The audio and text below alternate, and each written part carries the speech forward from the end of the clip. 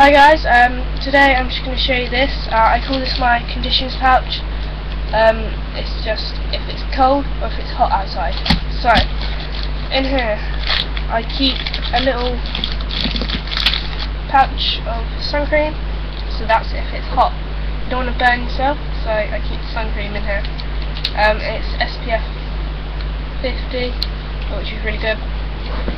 Then, if the conditions outside is cold and you want to be warm, I've got hand warmers. These aren't ones that you have to boil to reuse. You shake them like this for ages, keep moving them, and then you can um, use them, and then they just heat themselves up if you compress them.